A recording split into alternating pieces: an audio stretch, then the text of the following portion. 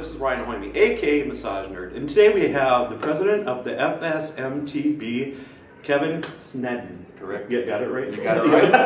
Hi, welcome. Thanks. Yep. So, um, what got you involved in the federation? Well, I, uh, I've been a massage therapist since dinosaur times, Ryan, and uh, 20 plus years as a massage therapist, and I'm one of those people that wanted to give back to the profession. I have a true passion and love for what it is that I do, and it started uh, about 11 years ago. I was um, selected uh, to serve on my state board, the Missouri State Board of Massage Therapy, by Governor Mel Carnahan. And um, the federation was founded about six years ago. So the, my board asked that I attend a meeting uh, in Albuquerque to find more about uh, the possibility of this organization forming. And I attended that meeting and not only believed in the cause of creating the Federation of State Massage Therapy Boards, um, but was fortunate, fortunate enough to actually get elected to the initial board of directors. Okay, cool. So was there, um, so basic from, from the get-go, you were on the board of directors then for the federation then? Or? I was. Uh, the, the purpose of that initial meeting was for state boards to come together and talk about creating an organization and what would its purpose be. And it's a matter of, as any massage therapist knows, anyone that's practiced for any period of time, we're a patchwork of rules and regulations. We still have a few states that don't regulate the profession even. So- I live in one of them, so Minnesota. So Right. Yeah. So it was a matter of a clearinghouse, an organization that these member boards could come together and share best practices. Uh, another thought was there wasn't a licensure exam that had been created specifically or exclusively for the purpose of measuring entry level competencies for someone entering the field. There was an exam being used, um, and it was the only thing that was out there, and it was a good thing that we had it. But one of our biggest projects and, and our initial focus once the Federation was founded was the development of the MBLEX, the Massage and Bodywork Licensure Exam. The states have direct uh, insight and oversight of that tool. As we say, the states own that exam.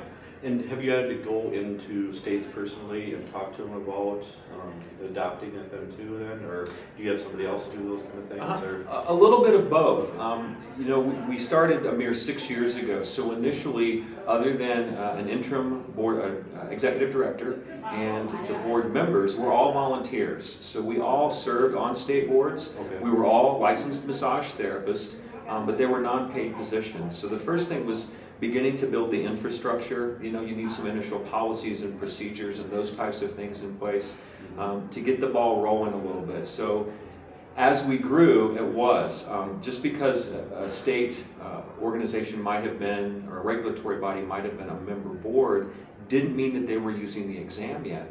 So we had to go in and explain how is the the exam developed? What were the steps that went into that? Because the state needed the comfort of knowing that this is a psychometrically valid tool that can be used. It's something that they can stand by. They can have comfort, comfort and confidence in knowing that this tool is going to measure what they need before issuing someone a, a license to practice. And when they fill out the paperwork, how long does it usually take to get a response in order to take it then?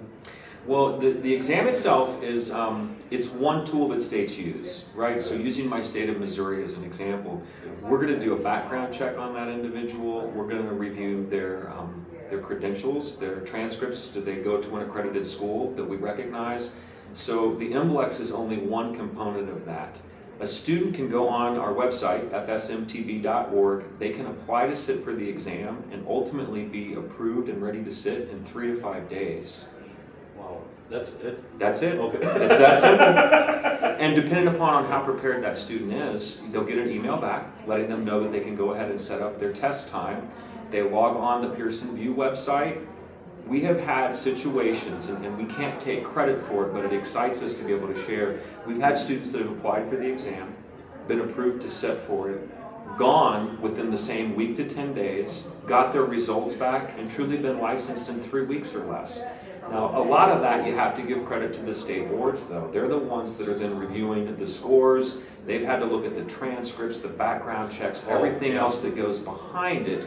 But we have a, a a pretty seamless and flawless pro- process in place that allows people to get through it pretty easily. And is your term up soon then? It is. I've been with the Federation for six years, and I've been very fortunate to be the president for the last three years. Okay. And uh, in October, at our annual meeting, we'll hold our next election. We have four officers, or four positions that will be open. We elect our officers every year, so we'll also have a new president, vice president, and treasurer. Uh, but I left my state board in December of last year after 10 years and 10 months. Wow. And I will be leaving the Federation as president and leaving the board of directors in October.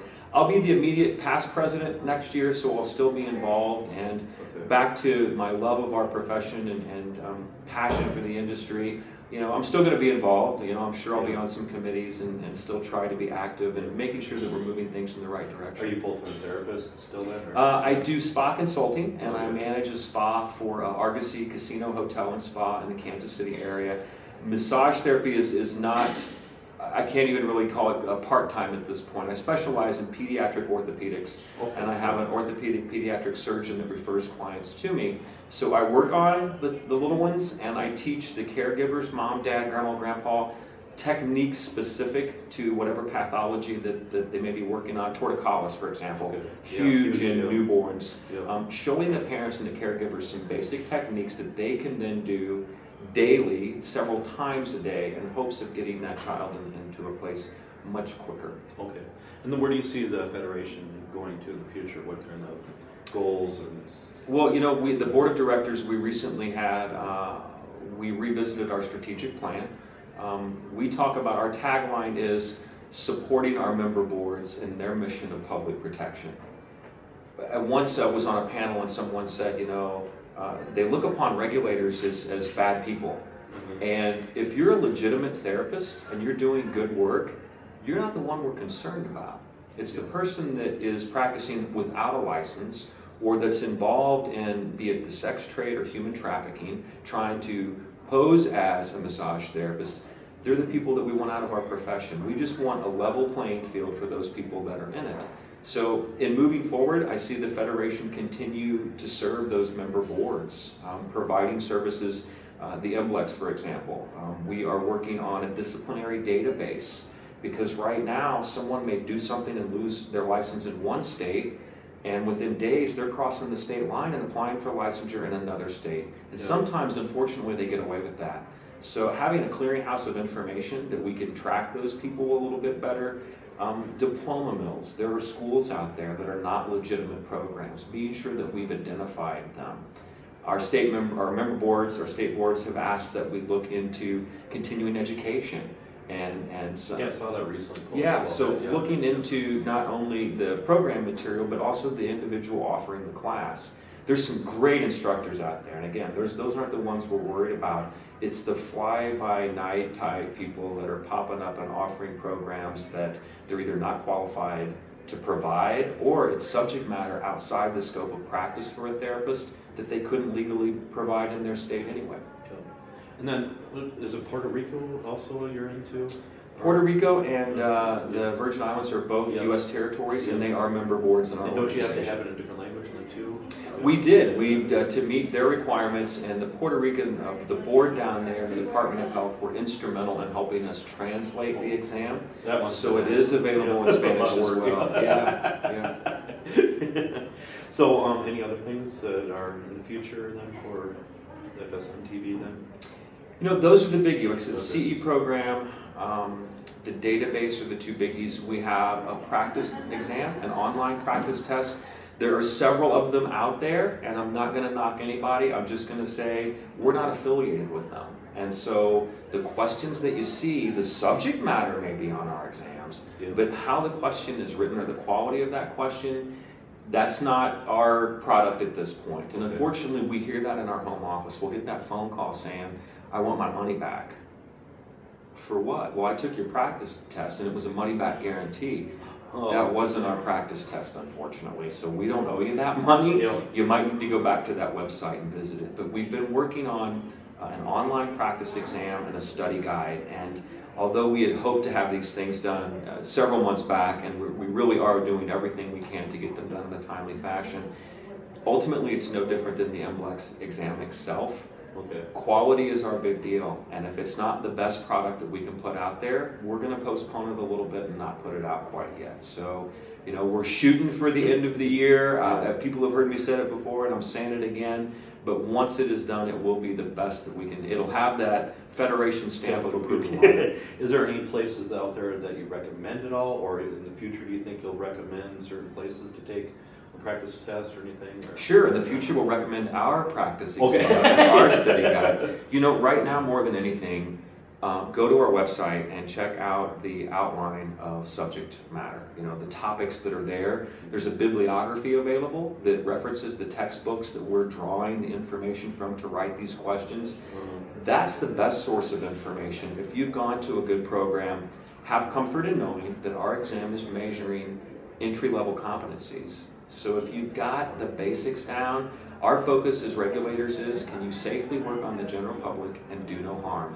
We're not measuring advanced modalities. We don't care about advanced techniques. Can you safely work on the general public? That's, that's the basis that, that we build upon. National certification and advanced certifications, there's a need for them in our profession. Uh, there's a, the profession is asking for them, but those advanced, advanced competencies shouldn't be a part of the licensure purpose. How, how many states roughly do you, are you guys in right now? Yeah. Oh, it man, you got me on that one. yeah. It does. It Yeah. changes quite a bit. It's Yeah. 38-ish, I'm gonna say.